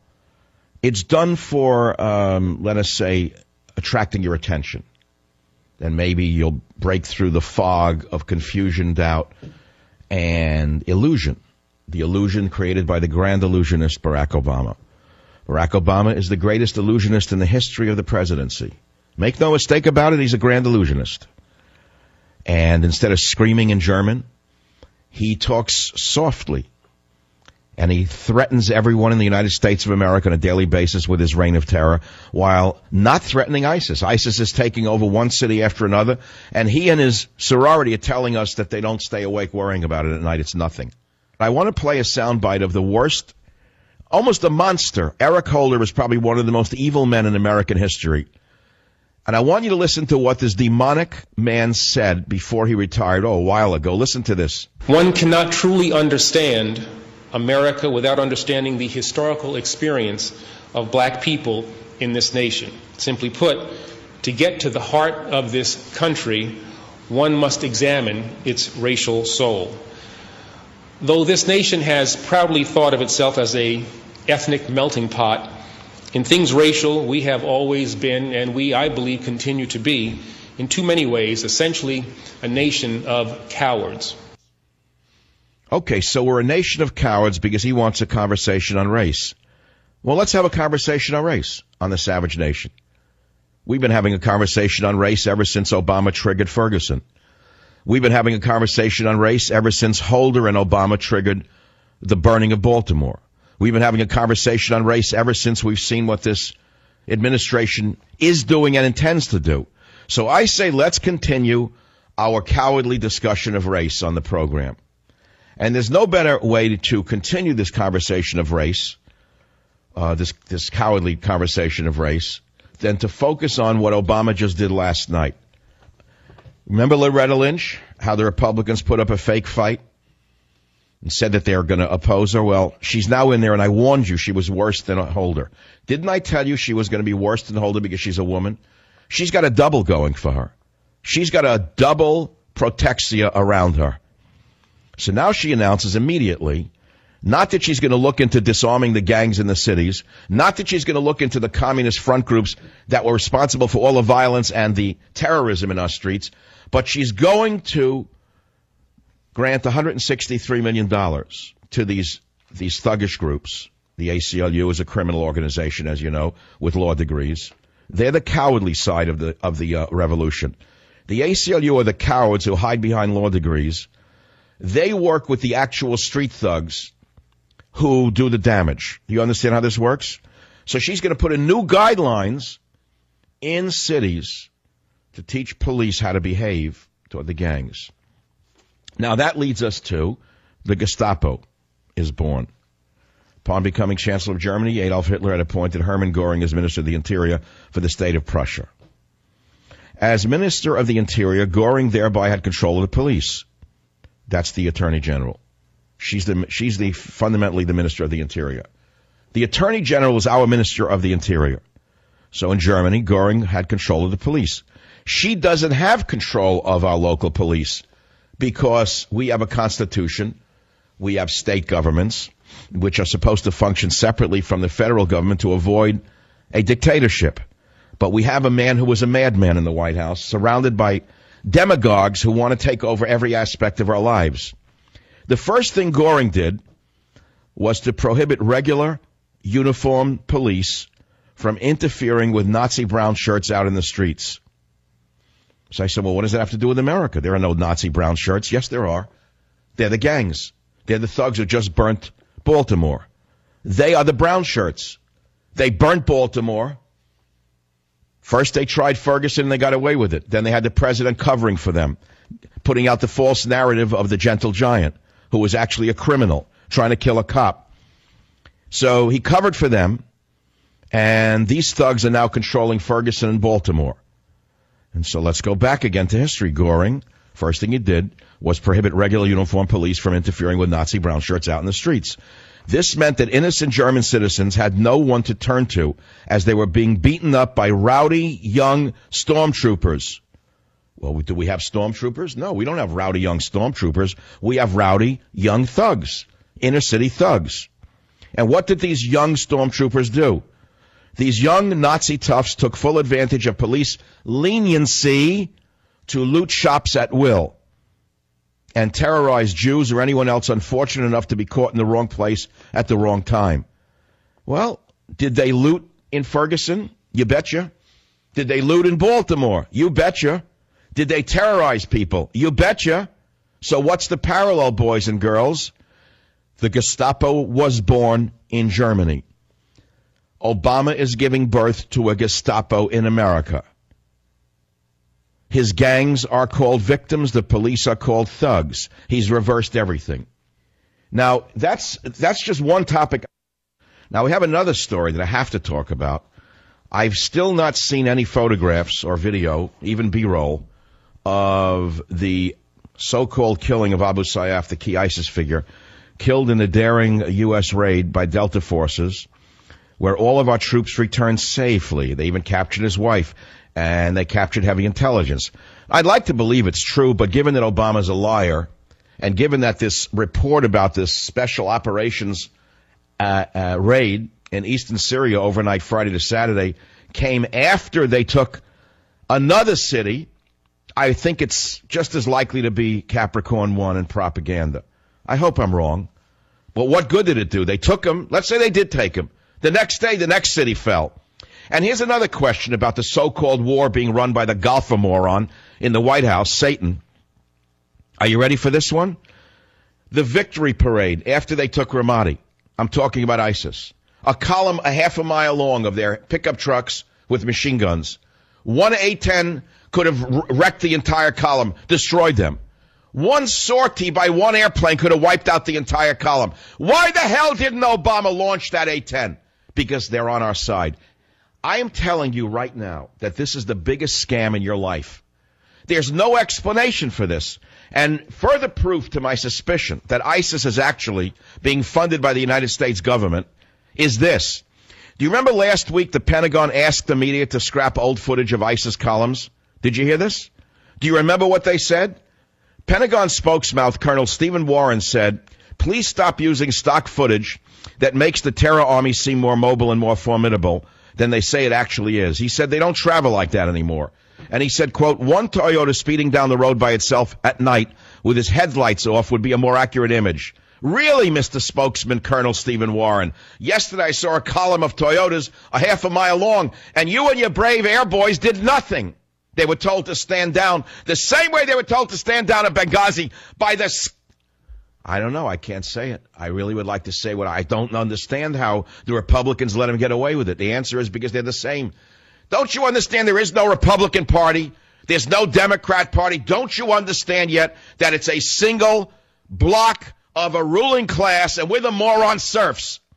And it's so bad that if my suspicion is correct, that ISIS is an arm of the United States government, in other words, a proxy army, that we, the citizens of this country, by permitting the charlatan in the White House to get away with this charade of a war against ISIS, we are responsible for the kidnappings. We're responsible for the rapes of children. We're responsible for the slavery of non-Muslims. We are the devil themselves for letting this character get away with it without demanding more. Now, of course, you say, what can I do? I understand that. You saw that George Staphylococcus is nothing but a paid whore. We understood that from day one. Did he ever look like anything but a paid whore? I mean, you're shocked that he's a paid whore and gave money to the Clinton Foundation? You're shocked that George Stephanopoulos looks like a male escort? He's been a male escort of the uh, Democrat Party from the day he started. He never was a journalist. Never. He's always been a pretty boy uh, escort for the Democrat Party. We have now in America what I've said for 10 years. We have reporters who suddenly call themselves journalists who are nothing more than fifth columnists disguised as members of the fourth estate. We have no fourth estate. I am the fourth estate. Drudge is the fourth estate. About 10 websites of the fourth estate. That's it. There is no fourth estate. Do you know what the fourth estate is? Okay, it's the fourth estate. We're supposed to stick our fingers into the side of the liars in government. We're supposed to be those who keep them in line. We're supposed to be the burr in the saddle of ABC, CBS, NBC, and NYT. But when we become the same as them and we're not the burr in the saddle, what are we? Prostitutes. And so therefore, I say to you, going back, circling back to my first story, on the headline, we were told over the weekend that the Great Delta Force uh, killed a key ISIS figure, Abu Sayyaf, and then they captured his wife and great intelligence, and all the Delta forces came home without a scratch on their shiny badges. Well, I hope it's true, but we haven't seen one picture yet. Now, if it is true and we haven't seen one picture yet, the only re- reason is is because Harvey Weinstein is still in Cannes.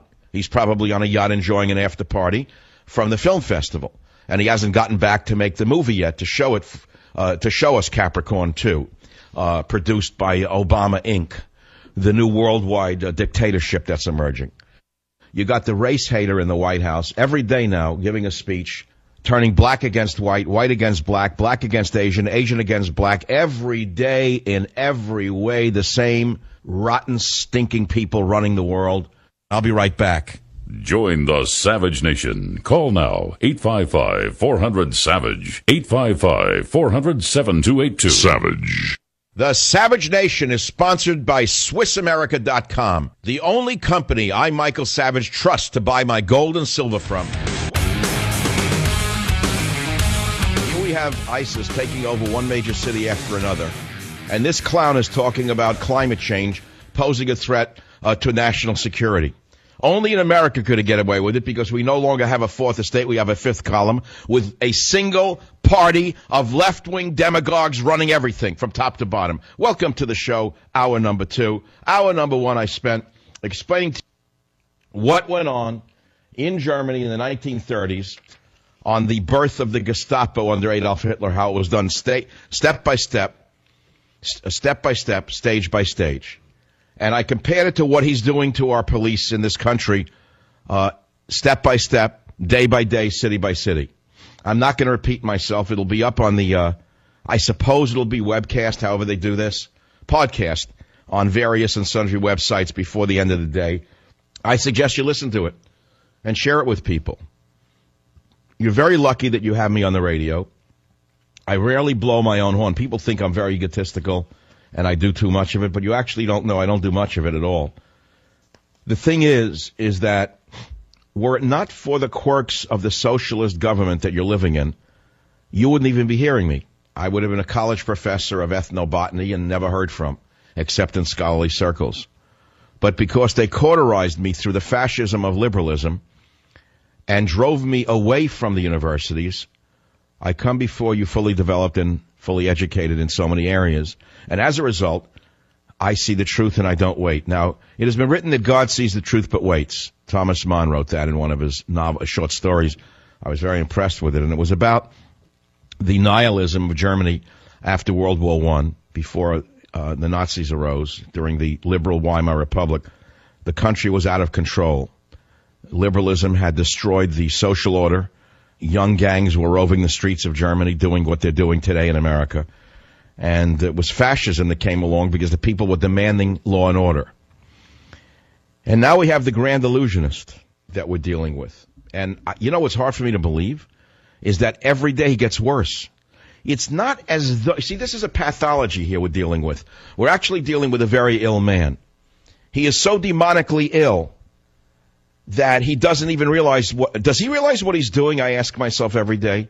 How can a man get up every day and while looking himself in the, you get up, wash your face, go to the bathroom, you look at yourself in the mirror, you comb your hair, brush your teeth, whatever. Does he say to himself, what can I do to destroy white America today? How can I destroy the power structure every day? How can I weaken this country even further? Is that what he's doing? Because there's no other explanation for his activities. It's as though a man wakes up every day and says, how can I weaken the European American dominance of this country? How can I make this country less racist, which is a code word for weakening white America? I'm sorry, you want a conversation on race? Didn't Eric Holder say we're cowards? Didn't Eric Holder say that we're too cowardly to have a discussion on race? Well, let's have a discussion on race. He wants us to talk about it. I am talking about it. I am so sick and tired of hearing how evil white men are. I am so sick and tired of hearing how oppressed the black people are. I am so sick and tired of hearing how great every Hispanic is that I want to have a conversation on race. So that's what we're doing. We're having a conversation on race. Since Eric Holder said that we're all cowards on it. White men are evil, Hispanics are all Einsteins, and black men are all oppressed. That's the, that's the narrative every day. And your poor daughter goes to college this poor child you gave birth to has to go and listen to these communist cockamamie lunatics who tell her she has white privilege. She could have multiple sclerosis and come from a poor home. They'll tell her if she's European American, she has white, white privilege. That's what your daughter has to put up with this massive Soviet style propaganda under this grand illusionist. Now, if it's too much for you, I accept that. I accept it. I look around, I see people in the streets, they don't want to know any of this. I have neighbors who are the biggest idiots I've ever seen in my life. They don't listen to the radio. They don't watch television. They actually proudly say, "Well, I don't. No, I, I don't watch TV news. Oh, I don't listen to no radio. I only listen to NPR." Good for you. National Public Radio. You mean National Obama Radio, don't? You remember there was a day when the Republican Party tried to defund NPR? What happened to those days? Savage.